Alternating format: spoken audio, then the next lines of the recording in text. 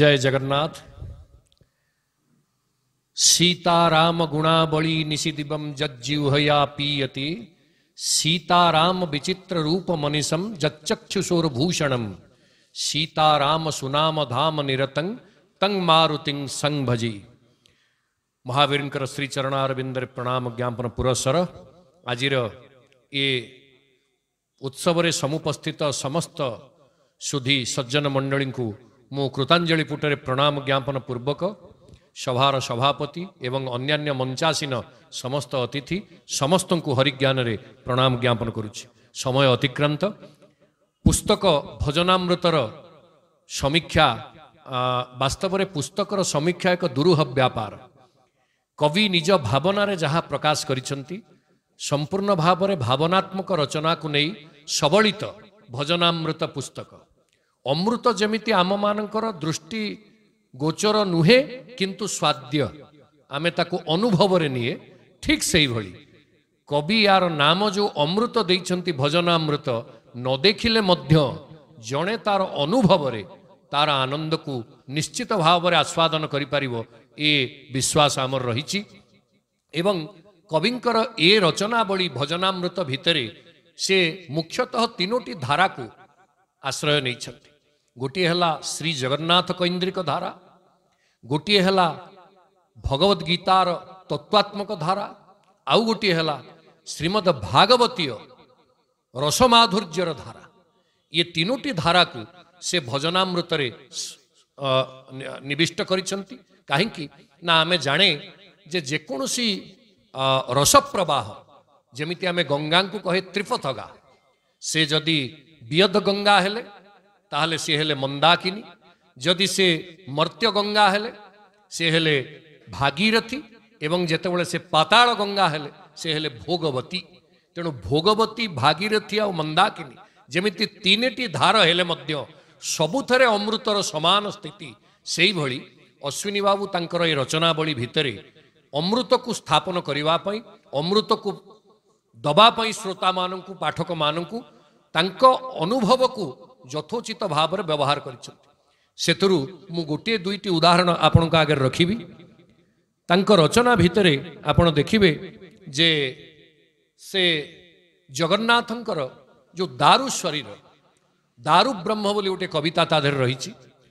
ଆପଣମାନେ ସମସ୍ତେ ଜାଣିଛନ୍ତି ସେ କବିତାରେ ସେ ଯେଉଁଭଳି ଭାବରେ ବର୍ଣ୍ଣନା କରିଛନ୍ତି ସ୍କନ୍ଦପୁରାଣ ଉତ୍କଳ ଖଣ୍ଡ ତାକୁ ସମର୍ଥନ କରୁଛି ତେଣୁ ମୁଁ ତାର ତାତ୍ତ୍ୱିକ ଦିଗଟିକୁ ଆପଣଙ୍କ ଆଗରେ ରଖୁଛି ସେ ଯେତେବେଳେ ଦାରୁ ବ୍ରହ୍ମ କବିତା ଲେଖିଛନ୍ତି ସେ ଲେଖୁଛନ୍ତି ଯେ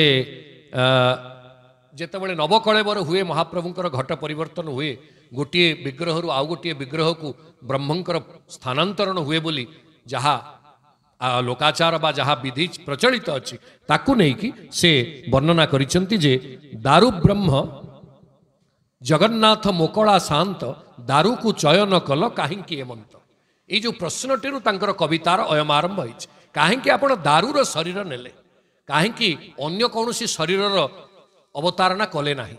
ଆପଣମାନେ ସମସ୍ତେ ଜାଣିଛନ୍ତି ଶ୍ରୀମଦ ଭାଗବତ ମହାପୁରାଣ ଏକାଦଶ ସ୍କନ୍ଦରେ ଆଠଟି ପ୍ରତିମାର ବ୍ୟବସ୍ଥା ଚିତ୍ରିତ ହେଇଛି ଆଠଟି ପ୍ରତିମା ଏବଂ ସେ ଆଠଟି ପ୍ରତିମା ଭିତରୁ ଶୈଳୀ ଦାରୁମୟୀ ଲୌହୀ ଲେପ୍ୟା ଲେଖ୍ୟାଚ ସୈକତି મનોમયી મણિમયી પ્રતિમાષ્ટવિધા સ્મૃતા એ આઠ પ્રકાર પ્રતિમા ଭିତରୁ ଦାରୁମୟୀ ପ୍ରତିମାର ମଧ୍ୟ ବୈଶିଷ୍ଟ୍ୟ ରହିଛି ତେବେ କାହିଁକି ଜଣେ ଦାରୁମୟୀ ପ୍ରତିମାକୁ ପୂଜା କରିବ ସ୍କନ୍ଦ ପୁରାଣ ତାର ଉତ୍ତର ଦେଇଛନ୍ତି ଉତ୍ତରଟି ହେଉଛି ଖଣ୍ଡନାଥ ସର୍ବ ଦୁଃଖାନାମ ଅଖଣ୍ଡାନନ୍ଦ ଦାନତଃ ସ୍ୱଭାବାତ ଦାରୁ ଶବ୍ଦେନ ପରବ୍ରହ୍ମା ଭିଦୀୟତେ ଦାରୁ ଶବ୍ଦ କହିଦେଲା ମାନେ ଏଇଟା ଗୋଟେ ଔପନିଷଦୀୟ उपनिषद संबंधी तत्व को विवेचित करे दारू दा दाने दो अवखंडने जोड़िए धातु दारू शब्द निष्पन्न दा धातु हूँ दान करवा ददाति दो धातु हूँ द्यति बा अवखंडन करवा छिन्न करवा ମହାପ୍ରଭୁଙ୍କର ଯେଉଁ ଯୋଡ଼ିଏ ଆଖି ଆପଣମାନେ ଯେତେବେଳେ ପ୍ରଭୁଙ୍କର ଦର୍ଶନ କରିବାକୁ ଯାଆନ୍ତି ଦୁଇଟି ଯାକ ଆଖି ଏକା ସମୟରେ ଦୁଇଟା କ୍ରିୟାକୁ ସମାହିତ କରନ୍ତି ସେଇଥିପାଇଁ ମହାପ୍ରଭୁଙ୍କୁ ଅବଧାନୀ ବୋଲି କୁହାଯାଏ ଅବଧାନ ଅବଧାନ ମାନେ ଯାହାର ଯାହାକୁ ଇଂରାଜୀରେ ଆମେ କହେ କନସେନଟ୍ରେସନ ମହାପ୍ରଭୁଙ୍କ ଭଳି ଏକାଗ୍ର ଆଉ ଅବଧାନ ଆଉ କେହି ଦେଇପାରିବେନି ଆଉ କେହି ହେଇପାରିବେନି ତେଣୁ ମହାପ୍ରଭୁଙ୍କର ବାମ ନେତ୍ର ଏବଂ ଦକ୍ଷିଣ ନେତ୍ର ଏ ଦୁଇଟି ଯାକର କାର୍ଯ୍ୟ ଏକା ସାଙ୍ଗରେ ହୁଏ ପ୍ରଥମେ ହେଲା ଦକ୍ଷିଣ ନେତ୍ର ଆପଣମାନେ ଯେତେବେଳେ ଗରୁଡ଼ ସ୍ତମ୍ଭ ନିକଟରେ ଠିଆ ହେଇକି ଦର୍ଶନ କରନ୍ତି ମହାପ୍ରଭୁଙ୍କର ଡାହାଣ ଆଖି ଆଗ ଆପଣଙ୍କ ଆଗରେ ପଡ଼ିବ ଏବଂ ଦକ୍ଷିଣ ନେତ୍ରର କାର୍ଯ୍ୟ ହେଲା ସେ ସୂର୍ଯ୍ୟବତ୍ ଆମ ଭିତରେ ଥିବା ଦୁଃଖ ଶୋକ ଯେତେ ପାପ ପଙ୍କ ରହିଛି ସବୁକୁ ସେ ନଷ୍ଟ କରିଦିଅନ୍ତି ତାଙ୍କର ସୂର୍ଯ୍ୟ ନେତ୍ରର ତାପରେ ଯେତେବେଳେ ଆମର ଅନ୍ତଃକରଣ ଶୂନ୍ୟ ହେଇଯାଏ ନିର୍ମଳ ହେଇଯାଏ ସେତେବେଳେ ସେ ଆନନ୍ଦ ବିତରଣ କରନ୍ତି ବାମ ନେତ୍ର ଯାହା ଚନ୍ଦ୍ର ନେତ୍ର ଶଶି ସୂର୍ଯ୍ୟ ନେତ୍ର ବୋଲି ଆମେ ମହାପ୍ରଭୁଙ୍କୁ କହେ ତେଣୁ ସେତେବେଳେ ସେ ଆନନ୍ଦ ବିତରଣ କରନ୍ତି ବାମ ନେତ୍ରରେ ତେଣୁ ଏଇ ଯେଉଁ খণ্ডন এবং মণ্ডন ଇଏ ଦୁଇଟା ଯାକ ଦୁଇ ନେତ୍ରରେ ହେଉଥିବାରୁ ଇଏ ଦୁଇଟି ଯାକ କାର୍ଯ୍ୟକୁ ନେଇ ଆମର ଅଶ୍ୱିନୀ ବାବୁ ଦାରୁ ବ୍ରହ୍ମ ଶୀର୍ଷକ କବିତାଟିକି ସୁନ୍ଦର ଭାବରେ ପରିକଳ୍ପନା କରିଥିବାରୁ ମୁଁ ତାଙ୍କୁ ଆଉ ଥରେ ସାଧୁବାଦ ଜଣାଉଛି ଯେ ସେ ବାସ୍ତବରେ ତାର ଅନୁଭବୀ ଭାବରେ ସେ ତାକୁ ଚିତ୍ରିତ କରିଛନ୍ତି ପୁଣି ଆମେ ଅପୂର୍ଣ୍ଣ ଭିତରେ ପୂର୍ଣ୍ଣତାକୁ ଦେଖେ ଅପୂର୍ଣ୍ଣ ରୂପେ ପୂର୍ଣ୍ଣ ବ୍ରହ୍ମ ଆପଣମାନେ ସମସ୍ତେ ଜାଣନ୍ତି ମହାପ୍ରଭୁଙ୍କର ଶ୍ରୀ ବିଗ୍ରହକୁ ଦେଖିଲେ ଅନେକ ସମୟରେ ଭ୍ରମ ତିଆରି ହୁଏ ଯେ ଇଏ ଆଉ ଅପୂର୍ଣ୍ଣ କି ଏଙ୍କର ପୂର୍ଣ୍ଣତା ନାହିଁ କି କିନ୍ତୁ ପରିପୂର୍ଣ୍ଣତମ ବ୍ରହ୍ମଙ୍କର ଆଉ ପୂର୍ଣ୍ଣତା ଖୋଜିବ କେମିତି ଜଣେ ଲୋକ ଯେତେବେଳେ ଆପଣମାନେ ସମୁଦ୍ରର ଏପାଖରେ ଠିଆ ହେଇଥାନ୍ତି ଆର ପାଖ ଅଛି କି ନାହିଁ ଯଦି ଜଣେ ପଚରା ପଚାରିବ ଆପଣ ନିରୁତ୍ତର ରହିବେ କାହିଁକିନା ଆପଣ ଦେଖିପାରୁନାହାନ୍ତି ଆର ପାଖ ଅଛି କି ନାହିଁ ସମୁଦ୍ରର ଗୋଟେ ନାଁ ହେଉଛି ପାରାବାର ଅବାର ଆଉ ପାର ଅବାର ବୋଲେ ଯୋଉ କୂଳରେ ଲୋକଟି ଠିଆ ହେଇଛି ପାର ମାନେ ଆର ପଟଟି ଅବାରରୁ ପାର ପର୍ଯ୍ୟନ୍ତ ଜଣେ ଦେଖିପାରୁନି ବୋଲି ସେ ସମୁଦ୍ରର ନାଁ ହେଉଛି ପାରାବାର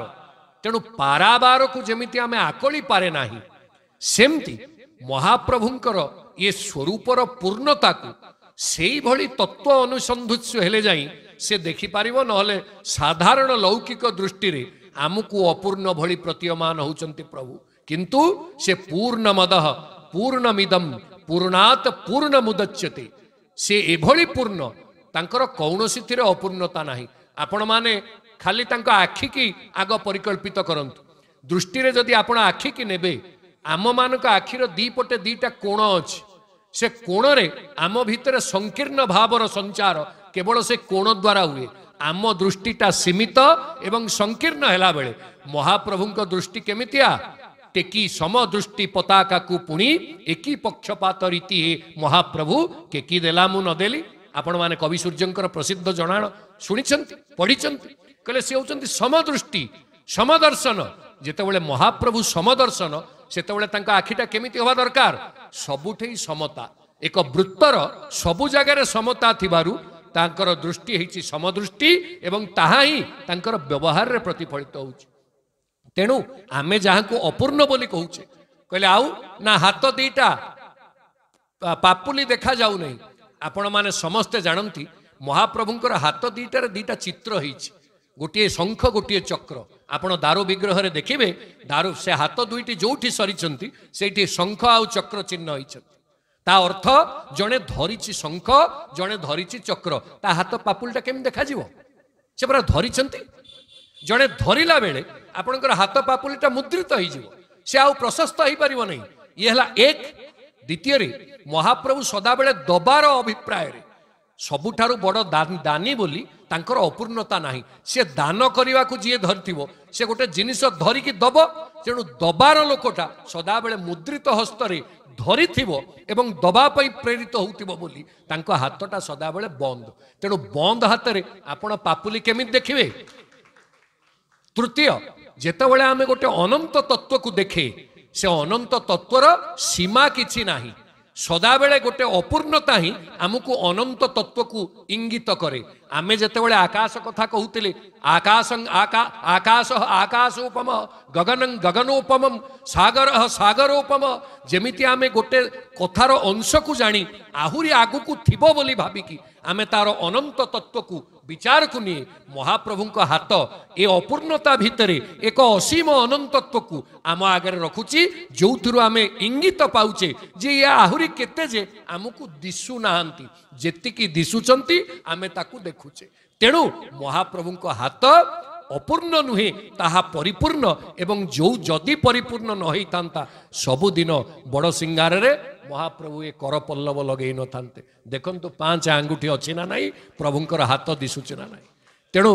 ଇଏ ହେଉଛି ମହାପ୍ରଭୁଙ୍କର ଦିବ୍ୟତା ଯାହାକୁ ଅଶ୍ୱିନୀ ବାବୁ ଅପୂର୍ଣ୍ଣ ସ୍ୱରୂପେ ପୂର୍ଣ୍ଣ ବ୍ରହ୍ମ ତାକୁ ରଖିଛନ୍ତି ଯେଉଁଥିରେ ସେ ସେଇ କଥାକୁ କହିଛନ୍ତି ନାସା ଅଛି କିନ୍ତୁ ଆପଣଙ୍କ ନାସା ପୁଟ ପ୍ରତୀୟମାନ ହେଉନି ଆପଣଙ୍କର ଚକ୍ଷୁ ଅଛି ଭୃଲତା ଦୃଶ୍ୟମାନ ହେଉନି ତେଣୁ ପ୍ରଭୁ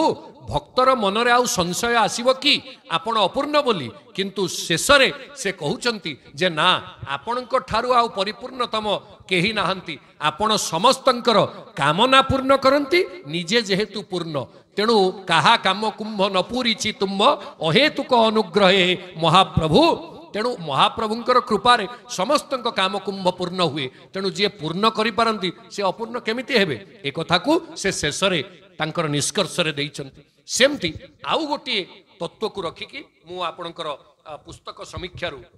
ଉର୍ଦ୍ଧ୍ୱକୁ ଯିବି ଚତୁର୍ଦ୍ଧା ମୂର୍ତ୍ତି ସେ ଚତୁର୍ଦ୍ଧା ମୂର୍ତ୍ତିରେ ସେ ବିଭିନ୍ନ ତତ୍ତ୍ୱକୁ ସନ୍ନିବିଷ୍ଟ କରିଛନ୍ତି ତାଙ୍କ ଚିନ୍ତନ ଏବଂ ଅନୁଭବକୁ ନେଇ ଯେ ଚତୁର୍ଦ୍ଧା ମୂର୍ତ୍ତି କେମିତି ଚତୁର୍ବେଦର ପ୍ରତୀକ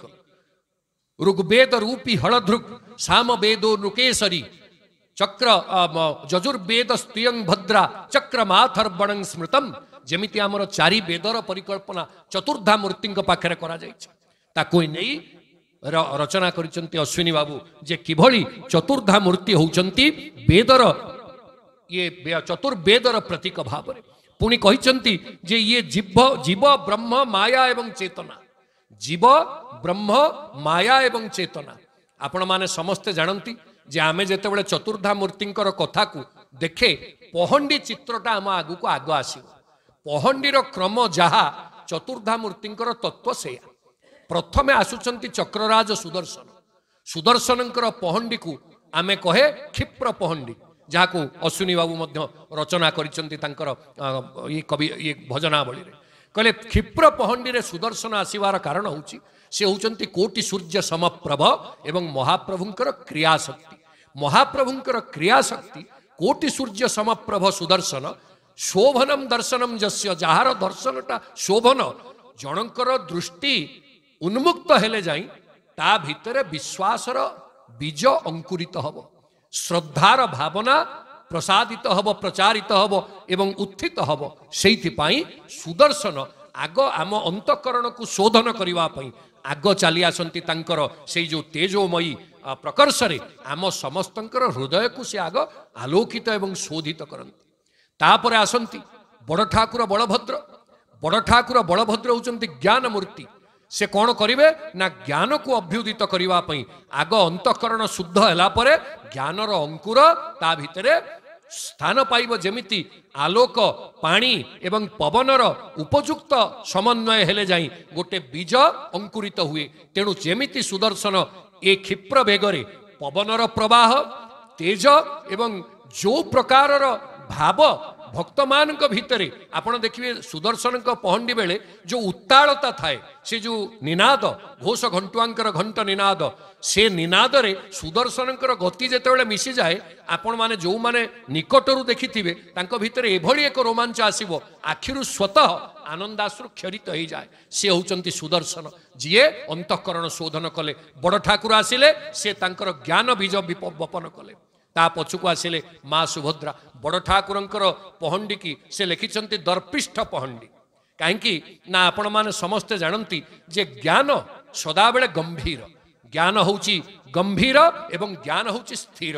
ସେ ସ୍ଥିର ଏବଂ ଗମ୍ଭୀର ଗତିରେ ଯେତେବେଳେ ଜଣେ ଯିବ ଆମେ କ'ଣ କହେ ନା ସେ ଭାରି ଯେଉଁଟାକୁ କହନ୍ତି ଅଭିସାର ଗତି ଯେଉଁ ଗତିରେ ବେଶୀ ଚଞ୍ଚଳତା ନଥିବ ଚାପଲ୍ୟ ନଥିବ ସେଇଭଳି ସ୍ଥିର ନିଶ୍ଚଳ ଗତିରେ ଧୀର ମନ୍ଥର ଗତିରେ ଆସୁଥିବେ ବଡ଼ ଠାକୁର ତାପରେ ଆସିଲେ ମା ସୁଭଦ୍ରା ଯାହାଙ୍କର ପହଣ୍ଡିକି ସେ କହୁଛନ୍ତି ଶୂନ୍ୟ ପହଣ୍ଡି ଏବଂ ସେ ଶୂନ୍ୟ ପହଣ୍ଡିରେ ମା ଯେତେବେଳେ ଆସୁଛନ୍ତି ସେତେବେଳେ ସେ କ'ଣ କରୁଛନ୍ତି ନା ଇଏ ଜ୍ଞାନ ରୋପଣ କଲେ ଅନ୍ତଃକରଣ ଶୁଦ୍ଧ ହେଇଛି ଜ୍ଞାନ ବୀଜ ଆସିଲା ମା ହେଲେ ସାଧା ସିଧାସଳଖ ମହାପ୍ରଭୁଙ୍କର କ୍ରିୟା ଇଚ୍ଛାଶକ୍ତି ରୂପିଣୀ ଏବଂ ସେ ଇଚ୍ଛାଶକ୍ତି ରୂପିଣୀ ମା କ'ଣ କରିବେ ନା ଭକ୍ତିର ଅଭ୍ୟୁଦୟ କରିବେ ଯେତେବେଳେ ଜ୍ଞାନଟା ପରିପକ୍ୱ ହେଇଯାଏ ଉଦ୍ଧବଙ୍କର ଜ୍ଞାନ ଅପକ୍ୱ ଥିଲା ବୋଲି ସେ ଗୋପାଙ୍ଗନାମାନଙ୍କର ଭକ୍ତିକି ଚିହ୍ନି ପାରୁନଥିଲେ ଯେତେବେଳେ ଗୋପାଙ୍ଗନାମାନଙ୍କର ସେ ଆଶ୍ରିତ ହେଇଗଲେ ତାଙ୍କର ଭକ୍ତିକୁ ଚିହ୍ନିବାର ସାମର୍ଥ୍ୟ ପାଇଲେ ସେତେବେଳେ ଉଦ୍ଧବଙ୍କର ଜ୍ଞାନ ହେଲା ପରିପକ୍ୱ ସେଇଥିପାଇଁ ସେ କହିଲେ ନନ୍ଦେ ବନ୍ଦେ ନନ୍ଦ ବ୍ରଜ ସ୍ତ୍ରୀଣାଙ୍ଗ ପାଦରେଣୁ ଅଭିକ୍ଷଣ ସହ ତେଣୁ ସିଏ ଶରଣାପନ୍ନ ହେଇଗଲେ ତେଣୁ ଜ୍ଞାନଟା ଯେତେବେଳେ ପରିପକ୍ୱ ହେଇଗଲା ସେତେବେଳେ ସେ ଭକ୍ତି ମାର୍ଗକୁ ନିଜ ସ୍ୱତଃ ଆସିଯାଏ ଏବଂ ସେ ଭକ୍ତି ମାର୍ଗରେ ମା ସୁଭଦ୍ରାଙ୍କର ଆପଣ ଦେଖିବେ ଶୂନ୍ୟ ପହଣ୍ଡି ଆଉ ଭକ୍ତିରେ ଶୂନ୍ୟତା ହିଁ ସବୁଠାରୁ ବଡ଼ ଶକ୍ତି ଯାହା ଭିତରେ ଆବିଳତା ନଥିବ ସବୁବେଳେ ଶୂନ୍ୟତା ନିରହଙ୍କାରତା ସେଇ ହେଉଛି ଭକ୍ତିର ପ୍ରକୃତ ପ୍ରକୃଷ୍ଟ ଅଧିକାରୀ ତେଣୁ ମା ସୁଭଦ୍ରାଙ୍କର ପହଣ୍ଡି ଏବଂ ସବା ଶେଷରେ ଆପଣ ଦେଖିବେ ଟିକିଏ ପଛକୁ ଟିକିଏ ଆଗକୁ ଟିକିଏ ବାଁକୁ ଟିକିଏ ଡାହାଣକୁ ନିଶ୍ଚପ୍ରଚ ଦୌଳନ ବୋଲି ତାକୁ କୁହାଯାଏ ସଂସ୍କୃତରେ ତାର ନାଁ ହେଉଛି ନିଶ୍ଚପ୍ରଚ ଦୌଳନ ନିଶ୍ଚପ୍ରଚ ଦୌଳନରେ ମହାପ୍ରଭୁ ସମସ୍ତଙ୍କ ଆଡ଼କୁ ଢଳିକି ତାଙ୍କ କଥା ଶୁଣିବେ ତେଣୁ ତାକୋଇ ସ୍ଥାନିତ କରିଛନ୍ତି କବି ଅଶ୍ୱିନୀ ଦାସ ଯେ ବାସ୍ତବରେ ଏ ପୁସ୍ତକଟି ତାଙ୍କର ଅନୁଭବକୁ ନେଇ ଏବଂ କେତେକାଂଶରେ ମହାପ୍ରଭୁଙ୍କର ତତ୍ତ୍ୱକୁ ସଠିକ ଭାବରେ ରୂପାୟିତ କରିବାରେ ସେ ସମର୍ଥ ହେଇଛନ୍ତି ତାଙ୍କୁ ସେଇଥିପାଇଁ ଆମେ ସାଧୁବାଦ ଜଣାଉଛୁ ଏବଂ ପିତାମାତାଙ୍କର ଜଣେ ଆଜ୍ଞାଧୀନ ଏବଂ ପ୍ରକୃଷ୍ଟ ସନ୍ତାନ ଭାବ ସେ ତାଙ୍କର ଘରେ ବଡ଼ ପୁଅ ନୁହଁ ସେ ସାନ ହେଲେ ମଧ୍ୟ ତାଙ୍କ ଭିତରେ ପିତାମାତାଙ୍କ ପ୍ରତି ଯେଉଁ ମନୋଭାବ ଯେଉଁ ସେବା ପ୍ରବଣତା ସେ ପିତାମାତାଙ୍କ ଠାରୁ ହିଁ ଏ ପୁସ୍ତକକୁ ରଚନା କରିବାର ପ୍ରେରଣା ପାଇଛନ୍ତି ଏବଂ ତାଙ୍କୁ ହିଁ ଉତ୍ସର୍ଗ କରିଛନ୍ତି ତେଣୁ ପିତାମାତା ହିଁ ଚଳତ ଜଙ୍ଗମ ଈଶ୍ୱର ଏ ସଂସାରରେ ତେଣୁ ପିତାମାତାଙ୍କ ପ୍ରତି ତାଙ୍କର ଏ ଭକ୍ତି ମଧ୍ୟ ପ୍ରଶଂସନୀୟ ଆଉ ସଭାପତି ମହୋଦୟ ଗୋଟିଏ ପ୍ରଶ୍ନ କରିଥିଲେ ମାନେ ପରାମର୍ଶ ଦେଇଥିଲେ ମୁଁ ତାର ଦୁଇ ମିନିଟ୍ରେ ଉତ୍ତର ରଖିବି କାହିଁକିନା ତାର ଆଉ ସମୟ ନାହିଁ ଦଶଟା ବାଜିଗଲାଣି ଜୋଇ ରାମ ସୋଇ ଜଗଦୀଶା ଆପଣମାନେ ଯେଉଁମାନେ ବାଲ୍ମୀକି ରାମାୟଣ ପଢ଼ିଥିବେ ପ୍ରଥମ କାଣ୍ଡ ବା ବାଳ କାଣ୍ଡ ଅଠର ଅଧ୍ୟାୟ ଦଶ ନମ୍ବର ଶ୍ଳୋକ ସ୍ପଷ୍ଟ ଭାବରେ ବାଲ୍ମୀକି ଯେତେବେଳେ ରାମଙ୍କର ଜନ୍ମର ଚିତ୍ର ଦେଉଛନ୍ତି ଆପଣମାନେ ଦେଖନ୍ତୁ ଏଇଟା ଗୋଟେ ଏମିତି ଗୋଟେ ସଂଯୋଗ ନୁହେଁ ରାମଙ୍କର ଚିତ୍ର ଦେଲାବେଳେ ବାଲ୍ମୀକିଙ୍କର କଣ୍ଠରୁ ରାମଙ୍କ ପାଇଁ ଅନ୍ୟ କୌଣସି ଶବ୍ଦ ବାହାରି ନାହିଁ କ'ଣ ବାହାରିଛି ଜାଣିଛନ୍ତି प्रद्यमाने जगन्नाथम सर्वलोक नमस्कृतम कौशल्या जनयद रामम सर्वलक्षण संयुतम सीधा सड़क गोटे शब्द प्रद्यमाने जगन्नाथम सेठी रघुनाथ जन्म पूर्वर कौशल्या जन्म करिवार शिशु से शिशु आउ कई नुहंती से होती जगन्नाथ प्रद्यमाने जगन्नाथम सर्वलोक नमस्कृतम कौशल्या जनयद रामम सर्वलक्षण संयुतम ଆପଣ କହିବେ ବାଲ୍ମୀକି ଲେଖିଦେଲେ ବାଲ୍ମୀକିଙ୍କ ପରେ ଆଉ କିଏ ଲେଖିଛନ୍ତି ବା ବାଲ୍ମୀକିଙ୍କ ପୂର୍ବରୁ ଆଉ କିଏ ଲେଖିଛନ୍ତି ଆମେ ଯଦି ବାଲ୍ମୀକି ରାମାୟଣକୁ ଅନେକ ସମୟରେ ରାମାନନ୍ଦୀ ସମ୍ପ୍ରଦାୟ ସେମାନେ ପଞ୍ଚମ ବେଦ ବୋଲି ସ୍ୱୀକାର କରନ୍ତି ଯେମିତି ଆପଣଙ୍କର ବୈଷ୍ଣବ ସମ୍ପ୍ରଦାୟ ବିଶେଷ ଭାବରେ ମହାଭାରତକୁ ପଞ୍ଚମ ବେଦ ବୋଲି ବିଚାର କରନ୍ତି शेमती रामानंदी संप्रदाय वाल्मीकि रामायण को वेद और मर्यादा दिखते वाल्मीकि जहा लिखिले ରଘୁନାଥଙ୍କର ଜନ୍ମ ପ୍ରସଙ୍ଗରେ ଯେମିତି ପ୍ରଭୁ ଜଗନ୍ନାଥ ପଦବୀ ଲାଭ କରିଛନ୍ତି ସେମିତି ଯଦୁନାଥଙ୍କର ଜନ୍ମ କହୁଥିଲେ ପଣ୍ଡିତ ମହୋଦୟ ତମଦ୍ଭୁତଂ ବାଳକମମ୍ବୁଜେ କ୍ଷଣମ୍ ଚତୁର୍ଭୁଜଂ ଶଙ୍ଖ ଗଦାରି ଉଦାୟୁଧମ୍ ଶ୍ରୀବତ୍ସ ଲକ୍ଷ୍ମଂ ଗଳଶୋଭି କୌସ୍ତୁଭମ୍ ପୀତାମ୍ବରମ୍ ସାନ୍ଦ୍ର ପୟୋଦ ସୌଭଗମ୍ ଯାହାକୁ ଦେଖି वसुदेव आचंबित हो गले से प्रभुंर जन्म पूर्वर प्रथम आग गर्भवास है देवता वर्ग गर्भस्तुति करने से जो गर्भस्तुति ब्रह्मादि देव देववर्ग गर्भस्तुति जिते कले से प्रथम महाप्रभुंर तेज को देख कौन स्तुति करपण वेदव्यास शब्द को मध्य देखु तत्र गत्वा जगन्नाथम देवदेवं भृशाकपिं पुरुषं पुरुषसूक्तेन उपतस्थे समाहित ଆପଣ ରଘୁନାଥଙ୍କ ଜନ୍ମ ବେଳେ ଜଗନ୍ନାଥ ଶବ୍ଦ ପାଇଲେ ଯଦୁନାଥଙ୍କର ଜନ୍ମ ବେଳେ ମଧ୍ୟ ତତ୍ରଗତ୍ୱା ଜଗନ୍ନାଥଂ ଦେବଦେବଂ ବୃଷା କପିଂ ବୃଷା କପି ବୃଷା ବର୍ଷଣେନ କଂ ପିବତି ଯିଏ ବର୍ଷାର ଜଳ ଭଳି যেমিতি আনন্দকু পান করতে এবং কল্যাণকু বিতরণ করতে কং পাতি কং হচ্ছে কল্যাণ সুখ কং হচ্ছে জল কলে দুইটা যাক যেমি মেঘ যেমিতি মেঘ ଉତ୍ତପ୍ତ ବାଷ୍ପକୁ ଗ୍ରହଣ କରି ରସକୁ ବର୍ଷା କରେ ମହାପ୍ରଭୁ ସେମିତି ଆମମାନଙ୍କର ଶୋକ ପାପ ଏକୁ ନଷ୍ଟ କରି କୃପାର ଅମନ୍ଦ ମନ୍ଦାକିନିକି ବର୍ଷା କରିବାରେ ଧୁରନ୍ଧର ବୋଲି ତାଙ୍କ ନାଁ ହେଉଛି ବୃଷାକପି कले से वृषा कपि किए ना जगन्नाथ तेणु रघुनाथ भी जगन्नाथ ଯଦୁନାଥ ବି ଜଗନ୍ନାଥ ଆପଣଙ୍କୁ ହାତ ଯୋଡ଼ି ଆମେ ଏକଥା କହିବା ପାଇଁ ସଙ୍କୋଚ କରିବୁ ନାହିଁ ଅନେକ ତା ଭିତରେ ବିଭେଦ ଦେଖନ୍ତି କୃଷ୍ଣ ରାମ ଜଗନ୍ନାଥ ନୃସିଂହ ଇଏ ସବୁ ଭିନ୍ନ ଭିନ୍ନ ବୋଲି ଅନେକ କୁହନ୍ତି କିନ୍ତୁ ସୁଧିବୃନ୍ଦ ସମସ୍ତଙ୍କର ଏକମାତ୍ର ସ୍ୱରୂପ से ହେଉଛନ୍ତି ଜଗନ୍ନାଥ ମହାପ୍ରଭୁ ଜଗନ୍ନାଥଙ୍କ ନିକଟରେ ସବୁ ତତ୍ତ୍ୱ ଯେମିତି ତ୍ରୟୀ ସାଂଖ୍ୟଂ ଯୋଗ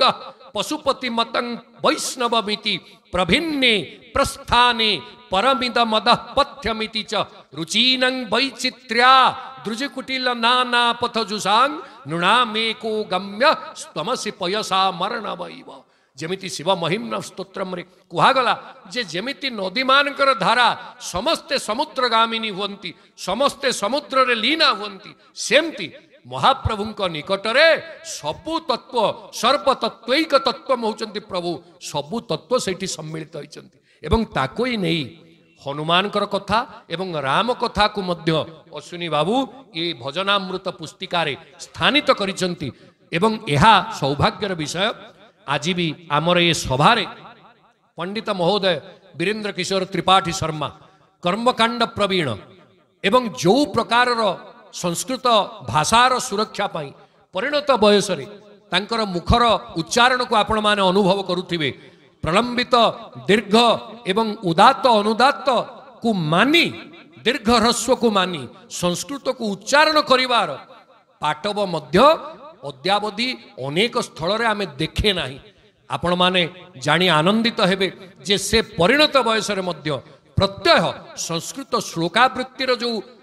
ଅଭ୍ୟାସ ରଖିଛନ୍ତି ସେ ଅଭ୍ୟାସ କ୍ରମଶଃ ତାଙ୍କ ସାଧନାରେ ରୂପାନ୍ତରିତ ହୋଇଛି ଏବଂ ସେ ସାଧନା ଆଜି ଫଳପ୍ରସୂ ହୋଇଛି ଯାହା ଆମ ଭଳି ଆମ ପୂର୍ବରୁ ସେ ଅନେକ ଅନୁଷ୍ଠାନରେ ସମ୍ବର୍ଦ୍ଧିତ ହୋଇଛନ୍ତି ସମ୍ମାନିତ ହୋଇଛନ୍ତି ଏବଂ ଏ ଉପାଧି ତାଙ୍କୁ ଏଇଥିପାଇଁ ଦିଆଯାଏ ଯେ ଉପାଧି ସଦାବେଳେ ଲୋକକୁ ଆହୁରି ସେ ସାଧନା ମନସ୍କ କରାଏ ତେଣୁ ଆମେ ଆଶା ରଖିବୁ ସେ ତାଙ୍କର ଶେଷ ନିଶ୍ୱାସ ତ୍ୟାଗ କରିବା ପର୍ଯ୍ୟନ୍ତ ସଂସ୍କୃତ ଭାରତୀର ସାଧନା ଏବଂ ସେବାରେ ବ୍ରତି ରହିବେ ଏବଂ ଆମମାନଙ୍କୁ ମାର୍ଗଦର୍ଶନ ଦେବେ ଆଉ ଆପଣମାନେ ଆହୁରି ମଧ୍ୟ ଆନନ୍ଦିତ ହେବେ ସାଧନା ଏବଂ ଅଭ୍ୟାସକୁ ନେଇ ଏ ପୁସ୍ତିକାରେ ମଧ୍ୟ ଅଶ୍ୱିନୀ ବାବୁ ଗୋଟିଏ ସୁନ୍ଦର କବିତା ସଂରଚନା କରିଛନ୍ତି ଉମାକାନ୍ତ ମିଶ୍ର ମହୋଦୟ ସେ ମଧ୍ୟ ସଂକ୍ଷେପରେ ଆଜି ଭାରି ସଙ୍କୁଚିତ ହେଇ କହିଲେ ମୁଁ ସାର୍ଙ୍କର ବାଣୀରୁ ଜାଣିପାରିଲି କିନ୍ତୁ ବାସ୍ତବରେ ପ୍ରଶ୍ନକର୍ତ୍ତା ହେଉଛି ସବୁଠୁ ବଡ଼ ସାର୍ କହିଲେ ଆମେ ବିବ୍ରତ କଲୁ ନା ଶ୍ରୋତା ବକତା ଯେ ପଚାରି ଏ ତିନି ଜଣ ଜାନ୍ତି ତରି ଶ୍ରୋତା ଆଉ ବକ୍ତାକୁ ଯେଉଁ ମହତ୍ଵ ଦିଆଯାଇଛି ଆଧ୍ୟାତ୍ମିକ ଜୀବନରେ ପୃଚ୍ଛକ ବା ପ୍ରଶ୍ନକର୍ତ୍ତାକୁ ମଧ୍ୟ ସମଧିକ ମହତ୍ଵ ଦିଆଯାଇଛି ଆଉ ପ୍ରଶ୍ନ ହିଁ ମଣିଷ ମନରେ ଦୁଇଟା ଜିନିଷକୁ ବିଭାଜିତ କରିଦିଏ ଦୁଇଟା ଜିନିଷକୁ ଅଲଗା କରିଦିଏ ଗୋଟେ ହେଲା ଶଙ୍କା ଗୋଟେ ହେଲା ଜିଜ୍ଞାସା ଆମ ଭିତରେ ଯୋଡ଼ିଏ ଭାବର ଉଦୟ ହୁଏ ଗୋଟେ ହେଲା ଶଙ୍କା ଗୋଟେ ହେଲା ଜିଜ୍ଞାସା ଯେତେବେଳେ ଜଣେ ପ୍ରଶ୍ନ କରିବ ଇଏ ଶଙ୍କା ଆଉ ଜିଜ୍ଞାସା ଦୁଇଟା ଯାକ ଅଲଗା ଅଲଗା ହେଇଯିବେ ଶଙ୍କା କେଉଁଠି ପରାହତ ହେବ ଜିଜ୍ଞାସା କେଉଁଠି ଉଦିତ ହେବ ଏବଂ ସେ ଜିଜ୍ଞାସାର ଉଦୟରେ ଜ୍ଞାନର ଅଭ୍ୟୁଦୟ ଆହୁରି ଜ୍ଞାନର ମାର୍ଗ ଆହୁରି ଜ୍ଞାନର ଧାରା ଆହୁରି ପ୍ରଳମ୍ବିତ ହେବ ତେଣୁ ଡକ୍ଟର ମିଶ୍ର ମହୋଦୟ ତାଙ୍କର ଧର୍ମପତ୍ନୀ ମଧ୍ୟ ଏତେ ସୁନ୍ଦର ଭାବରେ ପ୍ରଶ୍ନର ଯେଉଁ ବିବେଚନା ସବୁଦିନ କରୁଛନ୍ତି ମୁଁ ତାଙ୍କ ପାଖରେ କୃତଜ୍ଞତା ଅର୍ପଣ କରୁଛି ଏହା କୌଣସି ବିବ୍ରତର କଥା ନୁହେଁ ଏହା ବରଂ ଆମ ସମାଜ ପାଇଁ ଅତିମାତ୍ରାରେ ଆବଶ୍ୟକ ପ୍ରଶ୍ନ ନ ହଉଥିବାରୁ ଯିଏ ଯାହା ଜାଣିଛ କୁହ ହଉଥିବାରୁ ଅନେକ ଜାଗାରେ ପ୍ରକୃତ ବିଷୟବସ୍ତୁରୁ ବକ୍ତା ବିଭ୍ରାନ୍ତକୁ ଚାଲି ଯାଉଛନ୍ତି ଅବାଟକୁ ଚାଲି ଯାଉଛନ୍ତି ଆପଣମାନେ ଦେଖିବେ ପ୍ରସଙ୍ଗ ଗୋଟିଏ ଥିବ ବକ୍ତାର ଭାଷଣ ବା ପ୍ରବଚନ ଭିନ୍ନ ଆଡ଼କୁ ଯାଉଛି ଯାହା ଜାଣିଛ କୁହ ଯଦି ପ୍ରଶ୍ନକୁ ନେଇକି ବକ୍ତାକୁ କୁହାଯିବ ଯେ ବକ୍ତବ୍ୟ ରଖିବ ସେଇଠି ପ୍ରକୃତରେ ତାର ବିଦ୍ୟା ସ୍ଥିତି ପ୍ରକୃତରେ ପରୀକ୍ଷିତ ହେବ ସେଥିପାଇଁ ଆଗରୁ କୁହାଯାଉଥିଲା ବିଦ୍ୟାବତାଂ ଭାଗବତୀ ପରୀକ୍ଷା ଭାଗବତରେ ହିଁ ବିଦ୍ୟାବାନ ମାନଙ୍କର ପରୀକ୍ଷା କରାଯାଉଥିଲା ବିଦ୍ୟାବତାଂ ନୈଷଧକେ ପରୀକ୍ଷା ଯିଏ କାବ୍ୟ ପ୍ରସିଦ୍ଧ ପଣ୍ଡିତ ଯିଏ ବ୍ୟାକରଣୀ ପଣ୍ଡିତ ତାଙ୍କର ନୈଷଧ କାବ୍ୟରେ ପ୍ରଚା ଇଏ ପ୍ରତିଷ୍ଠା କରାଯାଉଥିଲା ପରୀକ୍ଷା କରାଯାଉଥିଲା ତେଣୁ ଏହା ଏକ ସ୍ୱାଗତ ଯୋଗ୍ୟ ପଦକ୍ଷେପ ବନ୍ଧୁ ଅଶ୍ୱିନୀ କୁମାର ଦାସ ତାଙ୍କ ସଂକ୍ରାନ୍ତରେ ଗୋଟିଏ ପଦ କହିବି ଅଶ୍ୱିନୀ କୁମାର ବାସ୍ତବରେ ଦେବ ବୈଦ୍ୟ ଏବଂ ଦେବ ବୈଦ୍ୟଙ୍କର କାମ ହେଲା ସିଏ ଭିଷକ ଅର୍ଥାତ୍ ସଦାବେଳେ ଔଷଧ ପ୍ରଦାନ କରିବେ ସେ ସମାଜକୁ ଇଏ ଭଜନାମୃତ ରୂପକ ଔଷଧ ବିତରଣ କରିଛନ୍ତି ତେଣୁ ଏହା ହିଁ ତାଙ୍କର ସାରାର୍ଥ ଯେ ଇଏ ଅଶ୍ୱିନୀ କୁମାରଙ୍କର ପ୍ରକୃତ କାର୍ଯ୍ୟକୁ ସେ ସମାଧାନ କରିଛନ୍ତି ତେଣୁ ଏଇଟି ହେଉଛି ଭଜନ ଅମୃତ ଆଉ ଅମୃତ ହେଉଛି ଅଗଦରାଜ ଇବ ଉପଯୁକ୍ତ ଉପଯୁକ୍ତ ଔଷଧ ହେଉଛି ସଂସାରରେ ଅଗଦରାଜ ବା ଅମୃତ ତେଣୁ ଅମୃତକୁ ଯିଏ ପ୍ରକୃତରେ ସେବା କରିବା ପାଇଁ ଚାହାନ୍ତି ଅଶ୍ୱିନୀ ବାବୁଙ୍କର ଇଏ ପୁସ୍ତକ ମଧ୍ୟ ବୋଧେ ଆଜି ଅଶ୍ୱିନୀ ବାବୁ ଏହା ଇଏ ପାଇଁ କ୍ରୟ କରିବା ପାଇଁ ମଧ୍ୟ ଉପଲବ୍ଧ ଏବଂ ବହୁ ସାମାନ୍ୟ ଅର୍ଥ ୟା ପାଇଁ ରହିଛି ଯେଉଁଟା ସେ ତ ନିଜେ କହିଲେ କହିଲେ ଏଇଟା ଜଗନ୍ନାଥଙ୍କ ପାଖରେ ସମର୍ପିତ ଏବଂ ଯାହା ଅର୍ଥ ସଂଗୃହୀତ ହେବ ସେଇ ମହାପ୍ରଭୁଙ୍କ କାମରେ ହିଁ ତାହା ଲାଗିବ ଏକଥାକୁ ସେ ସ୍ୱୀକାର କରିଛନ୍ତି ତେଣୁ ଯେଉଁ ବନ୍ଧୁମାନେ ଏକୁ କିଣିବା ପାଇଁ ଚାହିଁବେ ମଧ୍ୟ ତାଙ୍କ ପିଲାମାନଙ୍କ ପାଖରୁ ତାହା ସଂଗ୍ରହ କରିବେ ଆଉ ଆଜିର ସନ୍ଥ ଯିଏ ଥିଲେ ସ୍ୱାମୀ ଶ୍ରଦ୍ଧାନନ୍ଦ ଜୀ ସରସ୍ୱତୀ ସେ ବାସ୍ତବରେ ସଭାପତି ମହୋଦୟ କହିଛନ୍ତି ଶ୍ରଦ୍ଧା ଏବଂ ଆନନ୍ଦର ସମନ୍ୱୟ ବାସ୍ତବରେ ସେ ଶ୍ରଦ୍ଧା ଏବଂ ଆନନ୍ଦର ସମନ୍ୱୟ ଯିଏ କେହି ତାଙ୍କ ସାନ୍ନିଧ୍ୟରେ ଆସିଛନ୍ତି ସେ କେରଳ ଯାଇଥିଲେ କେରଳର ରାଜ୍ୟପାଳ ଆରିଫ ମହମ୍ମଦ ଖାନ୍ ମହାମାନ୍ୟ ରାଜ୍ୟପାଳ ସେ ତାଙ୍କୁ ଏତେ ଶ୍ରଦ୍ଧାର ତାଙ୍କର ବ୍ୟବହାରରେ ସେ ଏତେ ସନ୍ତୁଷ୍ଟ ହେଇଥିଲେ ସେ କାଲି ଆମକୁ ଦେଖଉଥିଲେ କିଭଳି ସେ ସେଠୁ ସମ୍ବର୍ଦ୍ଧିତ ହେଇକି ଆସିଛନ୍ତି ତେଣୁ ଏଭଳି ଜଣେ ସନ୍ଥଙ୍କର ସାନ୍ନିଧ୍ୟ ଗୋସ୍ୱାମୀ ତୁଳସୀ କହିଲେ ଜଗ ଯୋ ଜଗ ଜଙ୍ଗମ ତୀରଥ ରାଜୁ ମୁଦ ମଙ୍ଗଳମୟ ସନ୍ତ ସମାଜ ମୁଦ ମଙ୍ଗଳମୟ ଆନନ୍ଦ ଏବଂ ମଙ୍ଗଳ ଦୁଇଟା ଯାକ ଏକା ସାଙ୍ଗରେ ଦୁଇଟା ହାତରେ ବିତରଣ କରିବାର ଅଧିକାର ଯଦି କାହାର ଅଛି ସେ ହେଉଛି ସନ୍ତ ସମାଜ ତେଣୁ ସନ୍ତଙ୍କର ସେ ହେଉଛନ୍ତି ଜଙ୍ଗମ ତୀର୍ଥ ଅନ୍ୟ ତୀର୍ଥକୁ ଗଲେ ଆପଣ ଫଳ ପାଇବେ ସନ୍ତ ଯଦି ଆପଣଙ୍କ ପାଖରେ ପହଞ୍ଚିଗଲେ ଜଙ୍ଗମ ତୀର୍ଥ ଆସିକି ଆପଣଙ୍କ ପାଖରେ ପହଞ୍ଚିଗଲେ ସବୁ ସଫଳ ହୋଇଗଲା ଆଜି ବାସ୍ତବରେ ସେଭଳି ଏକ ମହାର୍ଘ ଦିନରେ ଆମେ ସନ୍ଥ ସମାଜର ସାନ୍ନିଧ୍ୟ ପାଇଛେ ଏବଂ ଆପଣମାନେ ଯେଉଁମାନେ ଏଠି ଉପସ୍ଥିତ ଅଛନ୍ତି ଗଣମାଧ୍ୟମର ପ୍ରତିନିଧିଙ୍କ ଠାରୁ ଆରମ୍ଭ କରି ଏଠି ଯେଉଁମାନେ ସହୃଦୟ ଅଛନ୍ତି ସମସ୍ତେ ନିଜ ନିଜ ଗୁଣରେ ଗରିଆନ୍ ତେବେ ଶ୍ରୋତା ହେବାର ମଧ୍ୟ ଗୋଟେ ଗୋଟେ ସାଧନା ରହିଛି ଶ୍ରୋତା ବହୁ କଷ୍ଟ କଲେ ବହୁ ବହୁନା ଜନ୍ମ ନାମନ୍ତି ଶ୍ରଦ୍ଧାବାନ ମାଙ୍ଗ ପ୍ରପଦ୍ୟତି ସେଇ ଯେଉଁ ଶ୍ରଦ୍ଧାବାନ ସେଇ ହେଉଛି ଶ୍ରୋତା ସେଇ ଶ୍ରଦ୍ଧାବାନ ଆପଣ ହେଇଥିବାରୁ ରାତି ଦଶଟା ବାଜିବା ପରେ ବି ଶାରଦୀୟ ଋତୁର ଅନୁଭବ ଯାହା କହୁଥିଲେ ସଦସ୍ପତି ମହୋଦୟ ଶାରଦୀୟ ଋତୁର ଅନୁଭବକୁ ଆମେ ଗ୍ରହଣ କରି ଏ ସମୟରେ ମଧ୍ୟ ଶୁଣିବା ପାଇଁ ଉପନୀତ ହେଇଛେ ଏଇଟା ଆପଣମାନଙ୍କର ସାଧନା ସେ ସାଧନାକୁ ଆମେ ଭୁରି ଭୁରି ପ୍ରଣାମ ଜଣାଉଛୁ